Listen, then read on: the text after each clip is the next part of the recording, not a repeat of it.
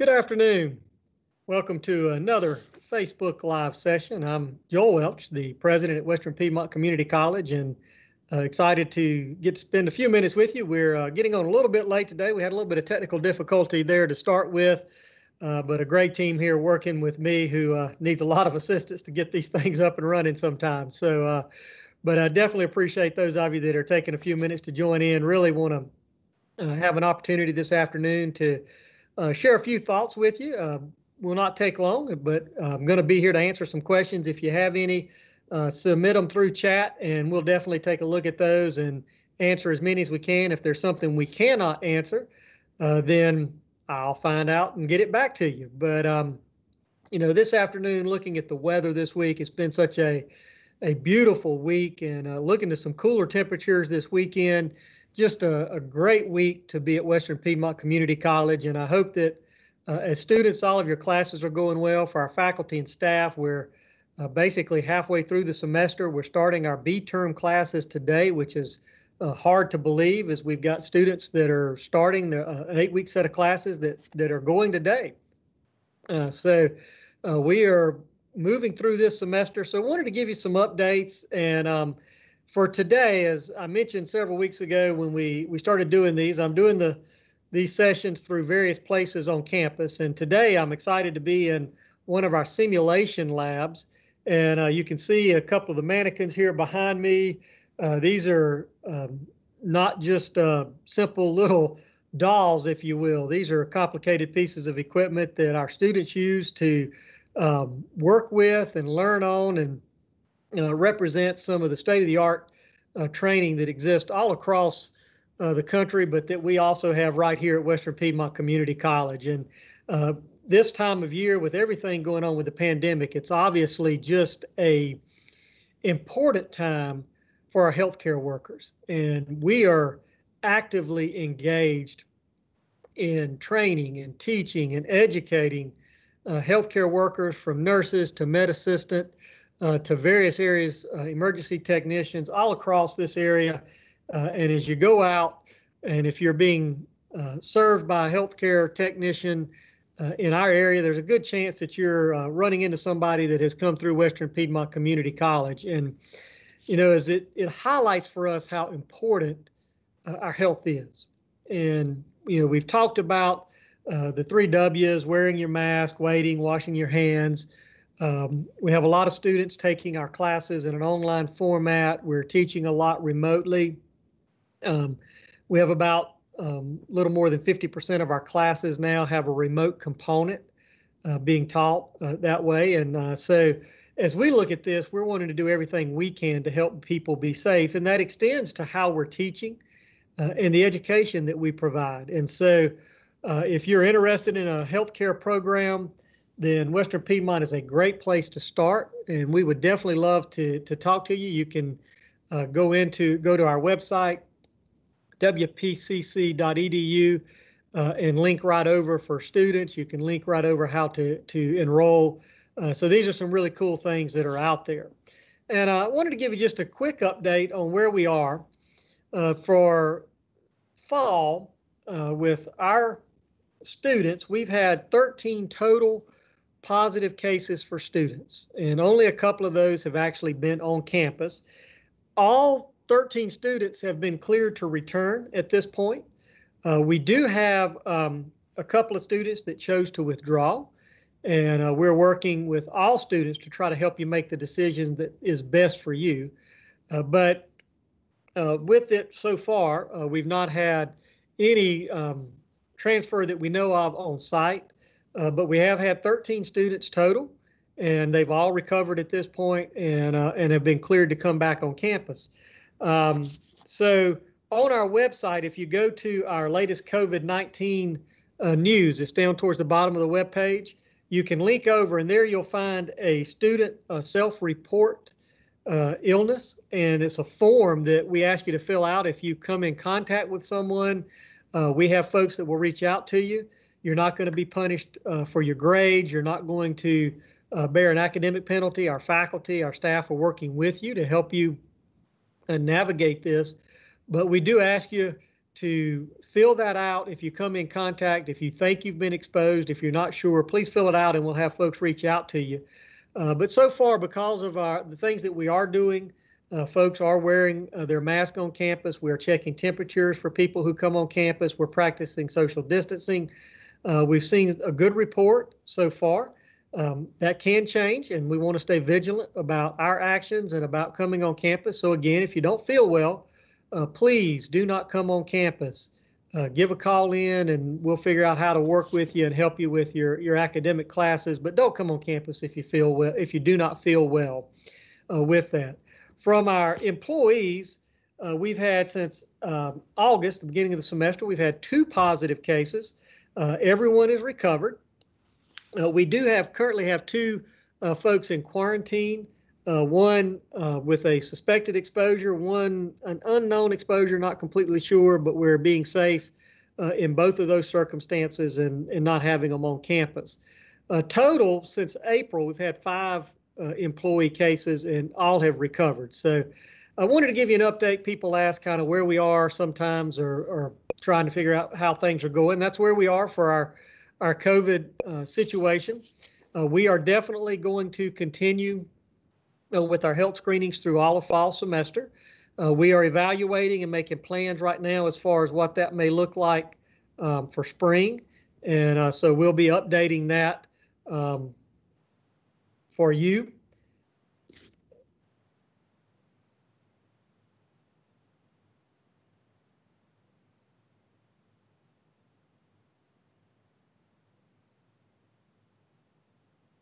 I'm checking something technically here. Um, uh, David or Raina, I got the text that it didn't stream. Are we streaming now?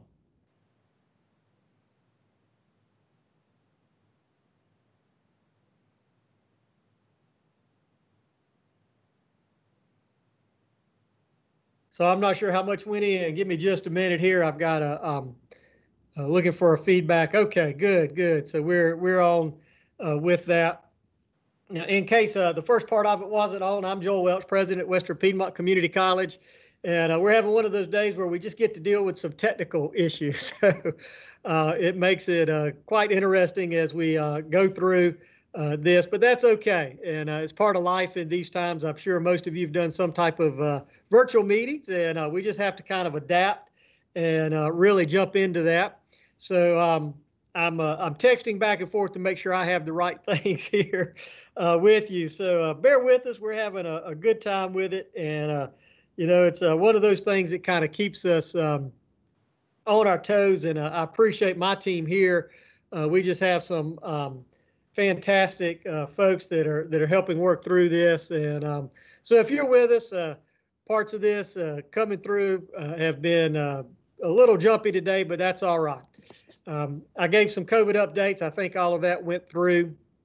Uh, I did want to step back just in case um, this did not pick up, and, and that is that today uh, I'm actually hanging out in our um, one of our simulation labs for med assisting here, and uh, it may look like somebody's uh, laying behind me or sitting over there, but that's some of our uh, simulation equipment that our students use for training.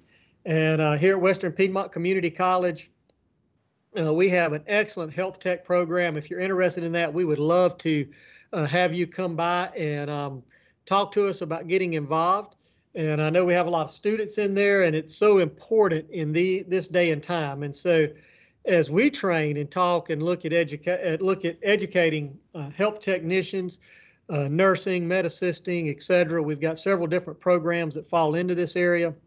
Uh, emergency technicians. I want to say that health is so important. That's one of the reasons that we are continuing uh, to practice our three W's. Uh, we're requiring folks to come through health screenings, and we're going to continue that through fall semester. Uh, as I was saying before we jumped into some of the technical things here, um, we are looking at spring semester, and spring may be a little bit different uh, as we look forward to see what that's going to look like. Um, but we are evaluating that, and if needed, we'll keep our health screenings going. so uh, gave you that. Uh, another update that I wanted to pass out to folks is we uh, have gotten some funding through the federal government, through the state government, that so far uh, through the pandemic situation here, we have dispersed just over $575,000 in aid to our students. Uh, this is aid that is meant to help with the pandemic, uh, to help with the um, challenges that our students faced, incredible challenges to continue their education uh, through the pandemic times. But uh, total so far, and, and there's more actually that we're working on, we have distributed just over $575,000 uh, to our students to assist with addressing the pandemic uh, and the, the COVID situation. So uh, we have not held on to that. We're doing everything we can to help our students get out there and and really be successful. I also want to say that uh, right now about 50% of our fall class time uh, is remote uh, in some type of form. We have blended and hybrid classes going, so only about 50% of our classes are actually uh, class time is actually online or on campus right now. And a lot of that has to do with labs and lab work that needs to be done in person. Uh, our health tech programs are meeting in person, and we're watching that uh, very carefully. And that's why we're doing the health screenings. Uh, we're doing social distancing on campus, uh, but we're doing everything we can to keep the um, health and safety of our students and our employees uh, top of mind on this. So those are some updates as far as the exposures that we've had so far, what we've got going on for classes. Um, I did mention also we are starting our second eight week B term classes started today. And so for those of you looking towards spring, we are only a couple of weeks now. It's hard to believe, uh, but less than three weeks away from starting our fall or our spring enrollment. November 2nd is when we will open enrollment for spring. Uh, so if you're looking to get into some spring classes, uh, start your planning. Uh, it's a good time over the next uh, three weeks to go ahead and talk to your advisor, faculty member about what classes you need to take, uh, what do you need to sign up for in spring. Uh, we are increasing our, our on campus and face to face classes uh, for spring because we're hearing from so many students that they they really want to have more of a face to face experience. We do anticipate that we will maintain our social distancing uh, and classes as far as how we handle that in spring, but we're constantly evaluating that. So as things change, I'll be on here uh, and we'll be posting to our website updates uh, so that we can keep up with. And uh, also, I wanted to go back and, and repeat one thing just in case it didn't go through, uh, and that is with the students, just in case. Um, if you do not feel well, please do not come on campus. And two, if you think you may have been exposed, please go to our website. Down at the bottom, uh, you'll see a latest COVID 19 info page. And at on that page, there's a link where you can complete a student self-report, uh, student self-report illness. Um, and so we want that there's a form there, and we want to make sure that you do that. We have folks that will reach out to you uh, so that we can um, stay in contact and keep uh, our folks safe, keep you safe. That's really what what we're all about today. Uh, so today, as as we thought about, and I thought about uh, halfway being halfway through the semester, and our health programs, as we highlight those today, getting to sit here in a, in a great lab. Uh, one of the things that we do know is we we talk a lot about physical health, and that's important. Uh, we did a session uh, a few weeks ago on study skills and what I want to talk about next is really um, related to that, and that's our mental health. We know as we um, talk to students, as we look at national data, that we have so many of you, our students, who are battling uh, mentally. You may feel high levels of anxiety. Uh, you may feel overwhelmed. Uh, you have life coming at you just incredible and you're just under a lot of stress. And I want you to know that we have uh, a great uh, staff here and we want to know where you are so that we can help you. Uh, we have uh, li- uh, some assistance counseling services that we offer to students. Um, and we have a list of partnerships that we work with as far as local agencies that we can refer you to. Uh, so in-house counseling uh, is not a bad thing. If you're feeling overwhelmed and uh, if you're feeling uh, lots of anxiety and you're stressed out and Um, you know, you're just, it's a struggle uh, with everything from the pandemic, job, family, um, all the the things that are going on. If you have health issues on top of all of that, these things wear on you mentally. And so don't be afraid to to get involved and seek counseling. Uh, you don't have to drop out. We uh, have a group here that can help, and we want to help.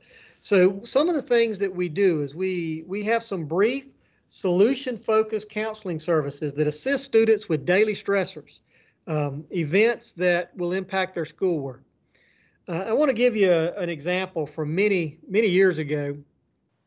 Uh, I had a a young lady that was uh, in one of my classes, and she came in to talk to me, and she just broke down in tears. I mean, it was just the stress and the anxiety was at an incredibly high level. And she said to me, I'm just I'm just going to drop out. I, am I'm, I'm done. I, I, can't I can't handle this. She's a single mother. Um, and the other side of this is though she's gotten an internship at a local engineering company and she's doing well. She has an opportunity. And she's gotten to her last semester and all of this pressure was on her. And when we talk about solution based counselors, first one is I tell this story I am not a counselor. Uh, I am an engineer, which for most folks means that I have no uh, empathy at all, uh, which I would like to think that I do have some empathy, but uh, sometimes I get wrapped up in too much data. But as I talked to this young lady, uh, I looked at her and I said, You know, you've got a great internship going. They love you, they're going to hire you one of the great things we can do is we actually could withdraw from one of your classes. You can finish that class next semester. Yeah, it's going to cost you a semester to graduate, which um, may not be the, the perfect solution in this world, but it will allow you to get through. And, you know, talking to her, we worked out a plan. And so we have people here who are counselors who can help you with a solution based. And sometimes it's just simple as reducing the load. Uh, that young lady withdrew from one class. She finished out the semester. She finished that class the next semester, and that company did hire her. Uh, they were they were perfectly okay keeping her as an internship. But I say that story also because that situation was unique to her. What worked for her may not work for you. And had she not come and talked to someone, had she not come on campus, and you can do it through the phone, you can do it virtually. We've got some ways set up here uh, to connect you. But had she just withdrew from everything, we might have lost her. And so don't feel so overwhelmed and don't let it get you to the point that you got to feel like you, you've got to give up. Uh, work with us and let us work with you to see if we can find some other options uh, that may help you get through the semester and be successful going forward. Uh, this is something that's very important. For our employees, we do have an employee assistance program also. Uh, and a lot of the same things that I talk about with with students apply to employees. We're battling a lot of different things uh, coming in, and, and so we want to make sure we take care of you also. So if you need help with more complex issues, anxiety, depression, substance abuse, uh, other mental health conditions, we're not uh, we're not your long-term therapist, but we can offer support. Uh, we can work with you, and we can give you a referral to an off-site camp counselor, um, off-campus counselor. We have uh, some partnerships in the community, and we can definitely work with you to get a referral. Uh, because these things are important. You you've got to take care of your body health wise. Important. You only have one body. You've got one health, that's yours. Uh, mental's part of that.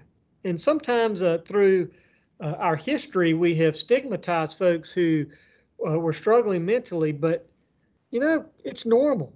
It is truly normal to um, feel stress and anxiety.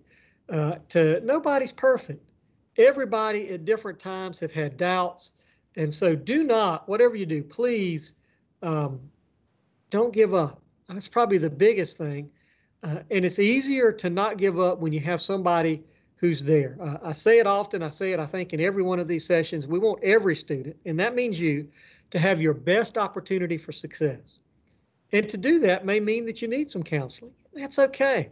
Uh, as I look around this simulation lab, um, one of the things that we have here are these um, simulators that are personal. They are amazing um, bodies that can do all kinds of different things. Uh, I'm looking to my right here and um, hooked up. Let's see, I can even show you, I think, here.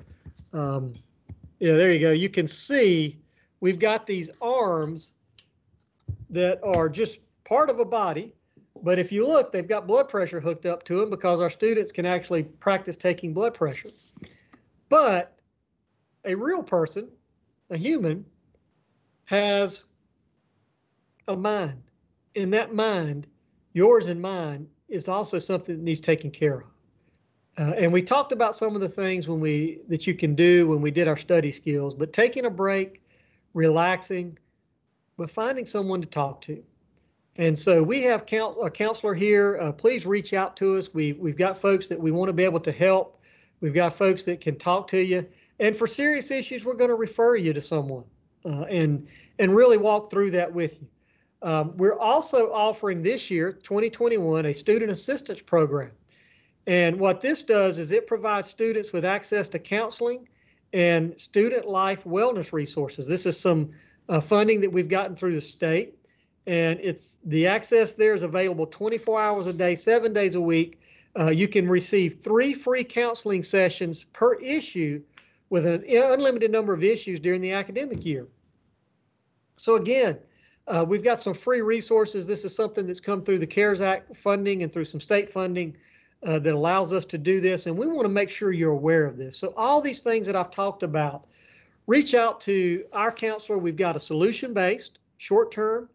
Uh, for something long-term, more serious, complex issues, we'll give you a referral.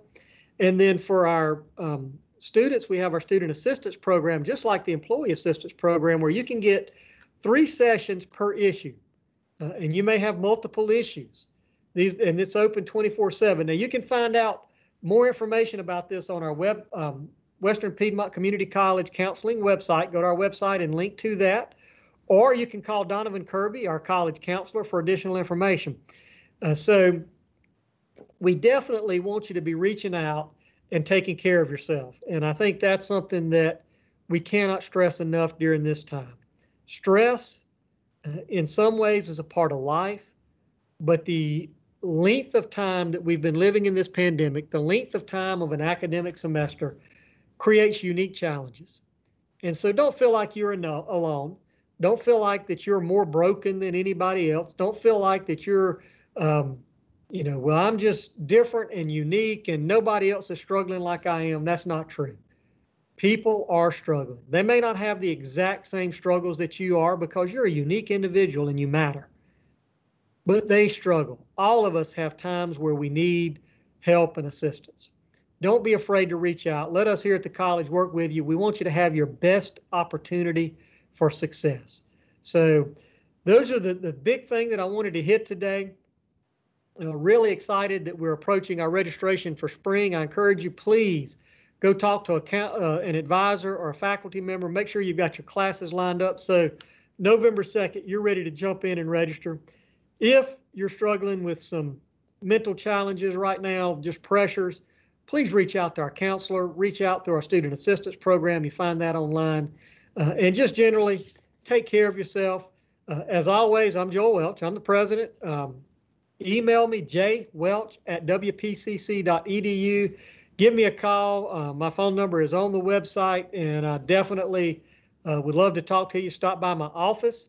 Um, if it's something really important, make an appointment. The only reason I ask anybody to make an appointment is because I'm not in my office all the time. And uh, if you want to drop by, that's great. If I'm there, I'm happy to sit down and talk to you uh, and have a discussion uh, with it. So don't think we've had any questions come in today.